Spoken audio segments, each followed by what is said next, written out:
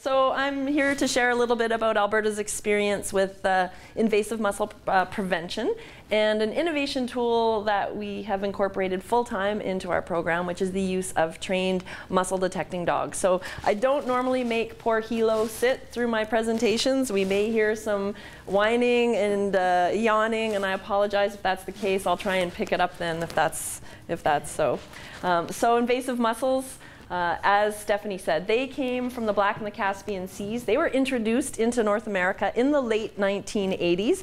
They came in the ballast tanks of ships, so those big boats picked up the water, used it for balance to get across the sea, came to the east, eastern seaboard, dropped out that water, and those mussels were able to thrive because they don't have any natural predators here in North America. Um, and as I said earlier, they reproduce very rapidly, and so there's nothing there that's uh, eating them. What they're doing is they're actually eating all the good phytoplankton in the water, and that's completely altering the food web because there's um, nothing that's uh, keeping them in check. So they reproduce rapidly, and what we're really worried about is they attach to any hard surface. So that's how you know that it's an invasive mussel and not one of the freshwater mussels that we have in BC and Alberta, is because they have these little threads, and these threads will let them attach, and they'll just start to attach to each other and reproduce to any hard surface and start to clog things up. So in Alberta, for example, we have thousands and thousands of kilometers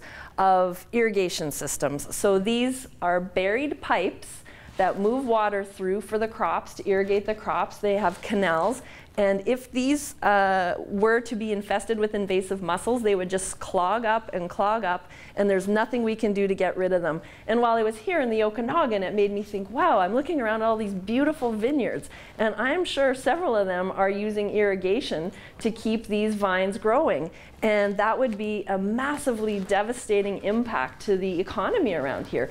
Um, and as you can see, these shells are sharp, they can cut your feet, and as I said, they completely completely alter the food web. So I have a picture here. This is Lake Winnipeg. You can see this girl in her boots. That's my colleague. Behind it is Lake Winnipeg. Lake Winnipeg found invasive mussels two years ago. Last summer in 2015, there was not a single mussel on that beach. This beach was completely clear. It looks like the beach you have today in Penticton. Beautiful sandy beach. One year later, completely clogged up. So that beach would not be swimmable anymore without shoes. You would not be able to lay on that beach because those mussels are so sharp. They'll scratch everyone's legs and their feet. Um, and they stink. That, like, that smells horrible there. So you're looking at lakefront property owners here um, or you know these hotels that are right in front of the beach. That's bringing in massive tourist dollars. Your um, tourist recreation will go down um, as well as your lakefront property is going to decrease in value. I guarantee it if you see invasive mussels. Um, this uh, this other picture is while I was at Lake Winnipeg. A guy had a boat there that he had in the water all summer, and he had these Christmas lights dangling down. He pulled them out, and all of those mussels are the part that was in the water. So they love to migrate to the hard surfaces and attach to anything. So the impacts are incredibly devastating. we estimate in Alberta it would cost us 75 million. So as you learned, there's nothing we can do to get rid of them. Once we have them, we have them. So then the costs that we incur our um, you know, for maintenance. So uh, uh, there's an example in Texas where uh, they a lake a lake there was infested with invasive mussels. That lake fed into a water treatment facility, and they had to build a 300 million dollar extension to that water treatment facility to reroute the water. And that, you know what, that cost went to the taxpayers in that region in Texas. So their water bills increased by 14% because of these invasive mussels to pay for that addition. So um, in Alberta, it would be, you know, same as British Columbia. You're looking at your water treatment facilities, your recreation lost opportunities and whatnot. So uh, massively devastating impact. And it's not, you, I know we're guessing because we don't have them right now about how much it would cost, but we look in Ontario and they tell us for a fact that they spend 70 to 90 million every year in Ontario because they have these invasive mussels. And they're getting closer. So Lake Winnipeg, very close to the east, and now Montana, um, we have to treat them as a very high risk. So, in terms of the Alberta Prevention Program, um, we have five aspects. One is response. So, that's what would we do if we do get invasive mussels, just exactly like Stephanie talked about what they did. Uh, we have introduced some great legislation very recently. So, by law, if you pass a watercraft inspection station uh, without stopping, you can get uh, a fine. You can mandatory court appearance. You could go, uh, you know, it's up to the judge what he wants to do. So it's a, you know, whether you're a kayak or a canoe, any type of water vessel, by law, you have to stop at our inspection station. And a secondary aspect to that is you must pull every plug in your boat when you're transporting it on an Alberta highway. And the reason for that is these mussels can live in the microscopic sense for 30 days in standing water. So if you're in, uh, you know, Tiber Reservoir in Montana with your boat and you pick up some of that water in your bilge or in any of your compartments, uh, that, those mussels could live for 30 days and it doesn't take 30 days to get over here to Lake, Lake, Okanagan from Montana. And so the idea is if you have to have your plugs pulled, then that, uh, then that water won't be able to be released into a secondary water body. Uh, education and outreach, that is by far the strongest tool that any program has in their toolbox. And we all follow that consistent message of clean, drain, dry, because really that's the only way that we will effectively eliminate this risk. So if boaters do their part, every time they leave a water body, they make sure there's no weeds or no muds or nothing attached, there's no water in it, it's completely dry. That's the only way that we'll effectively eliminate that risk. So, I mean, as much as we're working out there spending millions of dollars on prevention, we will never be able to inspect every single boat. And it's kind of like policing. Um, police cannot be everywhere all the time in every situation. It's up to the citizens to do their part, to, to follow the rules. So it's the same with uh, watercraft inspections. We monitor our water bodies, so we're taking those microscopic samples, and that's how we can claim definitively that Alberta is mussel-free because we are using science and the most up-to-date technology to test our water. So what I'll get into is the inspections program, and that's where we bring in the canines as an augmentation to our program. Uh, last summer, we inspected 19,000 boats in Alberta. This map shows you the point of origin of the watercraft that came through our inspection station.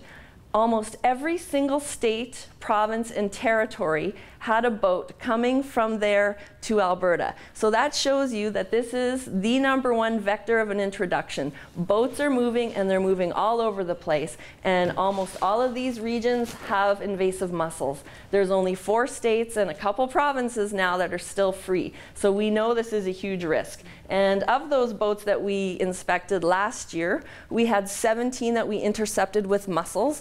And of those 17, eight of them had BC as their final destination. So we intercepted them in advance uh, and were able to uh, inform BC so that we could take care of it together. Thanks for that. You're welcome. no problem. It's all me. I'm just kidding. Um, so you often see these posters or these, you know, advertising campaigns about the mussels, and you see these propellers and these hulls that are completely covered in mussels.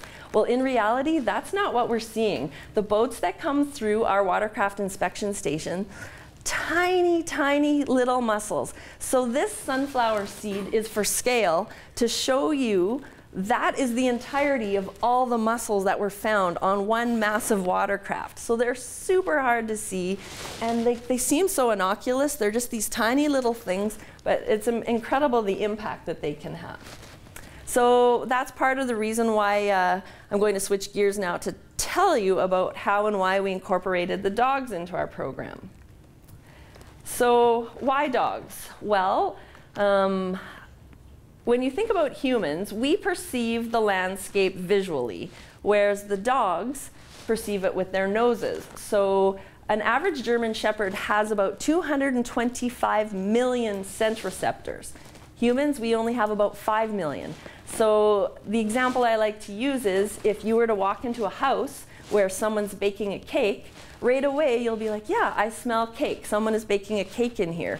Whereas your dog was probably a block away down the street and he could smell the sugar, the flour, the baking soda, the cocoa, the eggs, all the different ingredients that are in that cake. So they really have this incredible ability to detect things that we can't. And people will often say to me, Well, I have a, a, dog, and my dog is so smart. My dog would totally make a good detection dog. But in actuality, less than one in a thousand dogs has what it takes to make a good working dog. And what it really is that we're looking for is a really high ball drive. So these dogs are obsessed with the ball. And I mean like this, like they will do anything for that ball. And so when we um, look for appropriate dogs, that's really all that they care about. They could care less about all the humans in the room if there's a ball there. And these dogs also have a really high, high energy and a really uh, ability to remain focused. So that's why most of these dogs tend to be found in rescue societies because they don't make good family pets. They really need a job to do. They really need to be channeling that energy. So Working Dogs for Conservation is a nonprofit from Montana that worked with us along with the Alberta Irrigation Project Association to try and see what it would be like to incorporate dogs as part of the inspections program. So we went through three different veins, which I'm going to uh, uh, explain to you, uh, and that's how we landed at creating our own detection dog program. So Working Dogs for Conservation is from Montana, and they take these rescue dogs that they have assessed as being good for detection, and they go all over the world training them to detect different targets that have a high conservation value. So, for example, here they are. This is with the co founder um, of Working Dogs. Aimee Hurt, and she is with her dog in China, and they're there looking for Chinese moon bear scat because that is a species at risk due for harvesting. So that's like one example of what they can do. Here they are in Cameroon looking for cross river gorilla dung because cross river gorilla is an endangered species and so the dogs are being you know are able to detect them very quickly. The handlers can collect the samples that can be analyzed later for DNA for, you know, assessing the population health. And so they, they have this like endless possibility to be trained and go all over the world to do all kinds of targets. And they actually really make good ambassadors to the program. I mean, the people in this village, I'm told they had no idea that the Cross River gorilla was a species at risk. And so seeing the dogs brought this whole new awareness to this village. So in 2014, we partnered with Montana State and we decided let's try and see what it would be like if we hired working dogs for conservation to train their dogs to detect invasive mussels on boats. So at this point, we knew that California and Minnesota had mussel detecting dogs, but these dogs were multi-purpose enforcement dogs. So these dogs were looking for poachers and they were looking for gun residue and they were looking for you know bear and all kinds of things that you know people might have in their trucks. And so they weren't actually sitting at a watercraft inspection station day in and day out. So we partnered with montana. We called it like this international pilot because it was like sounded sexy but really we were only like three hours across the border on either side. And we hired them to train their dogs to do this pilot and so when I was proposing to do that to my province, I had a very senior fish and wildlife officer who was kind of against the idea. He said, you know, dogs are good, but they're really only good for public education and they're really only good for PR. And I was like, okay, well, you might be right, but in my mind, I kind of wanted to prove him wrong. So, as part of that pilot project, I set up a double blind comparison trial, and uh, we went to this used boat shop where we had a bunch of old boats lined up. And I planted some of them with mussels, I left some of them blank, and then I brought in trained watercraft inspectors and I said, okay, team, um, these are uh, high risk boats. I want you to inspect them. And what I did is I timed them and I assessed the accuracy. And then I did the same thing with the dogs and I brought the dogs in. And so we, we basically did a comparison trial for the accuracy and the efficiency of detecting uh, mussels on boats. And well, the results probably won't surprise anyone in this room, but the dogs outperformed in every category. So the dogs in this trial were 100% accurate in detecting the mussel foul boats, and the humans came in at 75%. Um, and as well, the dogs averaged about 2.3 minutes to inspect a boat, whereas the humans were quite a bit longer, well over five or six minutes. Um, and for the dogs, that 2.3 minutes even included time for them to play with the ball after they found the mussels. So um, it was pretty impressive. And I hid like only one tiny mussel on these boats. Like I didn't even make it obvious. So, you know, it was uh, really hard for the humans to see. Um, and in some cases, I didn't even hide the mussel. I just hid the threads. So these byssal threads are so tiny, and that's what the mussels use to attach. And the dogs had only ever been trained on mussels, were still able to detect that. So no shell and no actual mussel material, and the dogs were still accurate at assessing those boats. So due to the su success of that, we decided that we wanted to bring in these trained dogs to help us work uh, during snowbird season because this is what spring looks like in Alberta. I don't think it looks the same here in Penticton. And we wanted to catch all of those boaters who were coming back because we know in Alberta and BC, boaters love to go to Arizona and Nevada and California and the lower Colorado River system where there are these invasive mussels. So we said, let's bring the dogs in, get some good PR. People are waiting at the border for a long time. We don't want them to wait at our inspection station too. We want people to be happy. So we brought the dogs in for that project.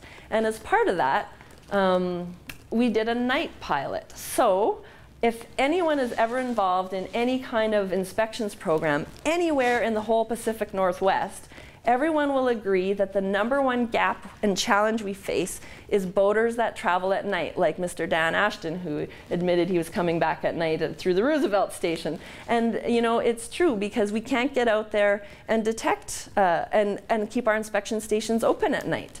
Um, and you know, I've even been on a, a forum, and it's an Idaho outdoorsman forum, and boaters were actually talking about ways if you travel after dark, you can specifically avoid these inspection stations. So like they're purposely avoiding us after dark. And same thing with commercial hauled boats because you know, truckers, they have deadlines and they have timelines. And if they have six boats loaded up on a trailer, we're going to be delaying them for quite a while. So they like to avoid us at night.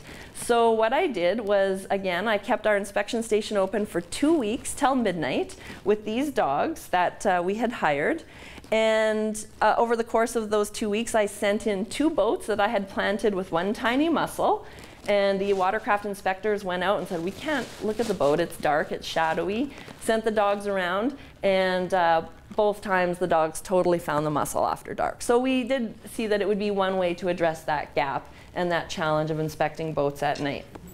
So that led us to the Conservation Canine program that we have now fully incorporated into Alberta with our own detection dog program. So we hired Working Dogs for Conservation and they um, helped us source the dogs and resource the handlers within our department. And we traveled down to California to work with the Department of Fish and Wildlife trainer there because um, they've been training dogs for several years and they have mussels in California. So we did this really intensive and very specialized it was about 140 hours of training for both of us, the dogs and the handlers. And then we brought in someone to test us at the end of it, who was an external, because we didn't want to just come back to Alberta and be like, yeah, we got this. Like, we really wanted to be able to say definitively that the dogs and the handlers were working uh, to the cap capabilities that they should be for detecting mussels on boats.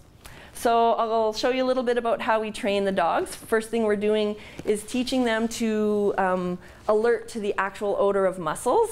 And we make it really fun for them because remember, they're really driven by the ball. So these are called hair boxes. You hide the mussels in one of the box, and if the dog finds it, the ball will jump out, and it's a great big fun party.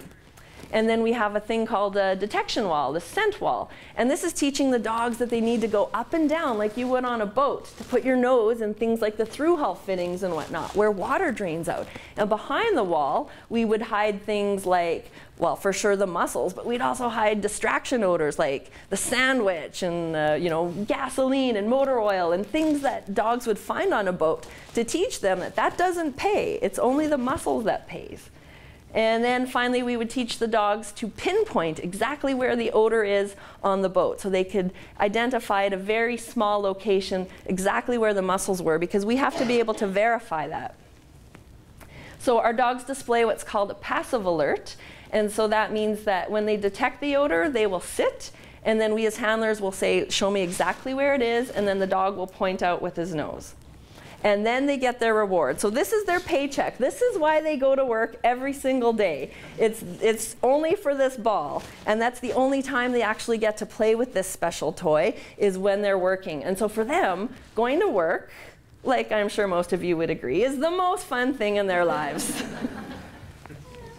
So we hand out these little cards that say you've been sniffed. So uh, depending on which dog and which station you go through, people can collect them. And we do have the 2017 version. If anyone wants one of my dog's business cards, you're welcome to grab one. and so I'll introduce you to our team. Um, Heather and Diesel. Diesel is a chocolate lab cross. And he came from a rescue agency in San Diego because, as I said, they don't make good family pets. So someone gave Diesel up and our contractors assessed him as being really good for our program. And so this is really cool, but a, a volunteer um, in California in his very own airplane with his own fuel picked up Diesel and flew him all the way to Montana where he could be driven across the border to become part of our program. So it's kind of got a really neat story. There's like all kinds of media around him leaving California to come live in Alberta. And then we have Seuss. Uh, Seuss is a German Shepherd, also from a rescue society. And um, Seuss is kind of like, I kind of call them our badass team because Seuss is like super serious. He's like, you hired me to do a job. He goes in there, he inspects the boat, he finds a mussel, and then he's like out of there. Like, okay, when's the next one coming? So he's very typical German Shepherd. He's like, oh, you silly labs who like to play around. And then Hilo is my work partner, and Hilo actually started out in guide dog school, but he decided he didn't really want that job. Um, so we call him a career change dog. By age of two, he came to join our program, and I like to say that uh, he left the United States to come work with us because we have much better healthcare system. Sorry, Stephanie. so we, um, our dogs live with us.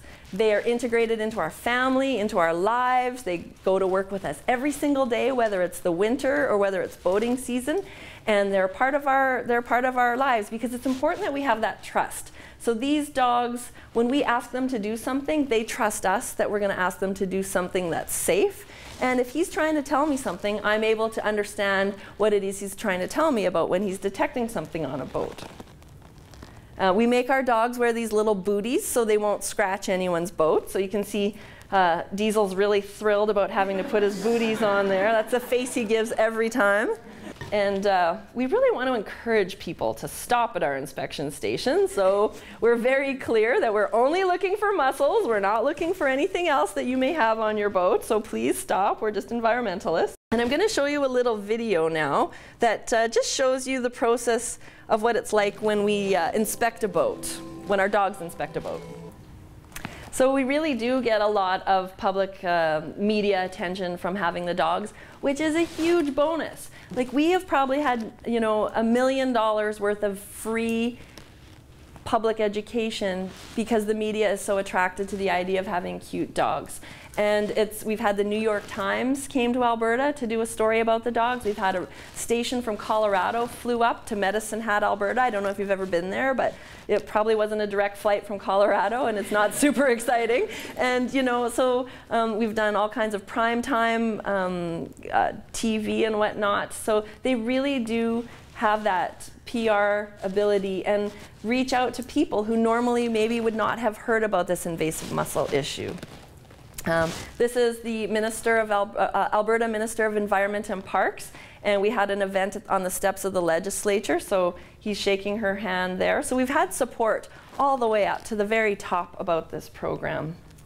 Um, and so then when Montana uh, tested positive in Tiber Canyon, we thought this would be a really neat opportunity to, to cross-train the dogs as a response tool because if you get positive and you have veligers or the microscopic mussels in a water body, that's one thing. You can, you can maintain that status for several years without seeing the huge, huge economic impact that could happen.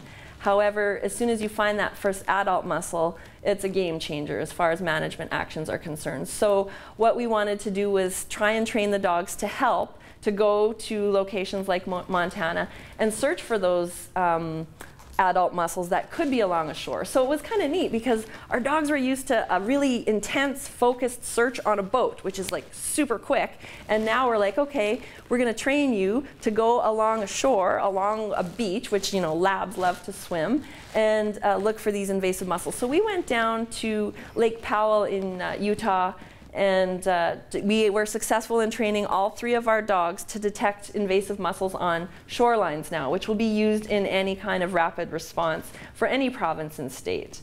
Um, and as I said, these dogs are so obsessed with water, and yet they were still able to maintain their focus and just look for the mussels that they were trained to do. So here's the dog paw print.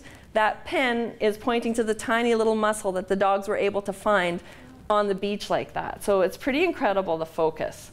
Um, I'm just going to tell you a little bit quickly about something I'm proud of. We've trained the dogs to now detect an invasive weed. So we've gone from aquatics to terrestrial invasives now. And so there's an invasive weed called Thesium arvense. The only known location of this invasive weed in all of Canada is in Alberta in one of our provincial parks. And this weed is pretty low growing, it's hard to see, it's kind of spindly, and it grows in amongst all these other tall grasses. And we're like, how are we ever going to get a handle on the spread of this invasive weed when we don't even know how how extensive it is. So we got an innovation grant and we were we brought in our contractors and in 9 days we were able to train the dogs to find the weed in the middle of the park. So it was really incredible to watch. And I have a, like a really short video to show you how we train the dogs to detect that invasive weed. So remember, like tiny amount of odor on boat to here's a field with tall grasses and gophers and wind, and the dogs were able to, uh, to do it. So that was a really neat project. And so what our job is to go out there and uh, help map the extent of that weed. So our dogs aren't there to dig it up or anything like that. We're just there to find it, and then we'll bring in other people to work on the eradication. So next steps, um, we actually received a U.S. Fish and Wildlife Services grant, and so the Alberta teams, along with the Montana dog teams, who are also, uh, they've also incorporated dogs into Montana last year. Uh, and so it's same trainers, same process, same, you know, community working together on these dogs. Um, so we're all going to go down to Texas and we're working with some professors from Portland State University and we are going to uh, hopefully train the dogs to detect microscopic mussels in water which will be pretty amazing. So the idea isn't that they're going to go sniff around a lake for the microscopic, but what they're going to do is sniff boats for those places that uh, water would be draining out of on some of these very fancy and complicated houseboats and whatnot to see if the larva is indeed in those stages. So we'll see whether or not that, uh, I'll be able to report on the results of that, I guess, uh, by this time next year. Okay, let's go find it. Oh, good boy. Let's go find it. Good searching. Check here. Good searching. That's right. Oh, good job.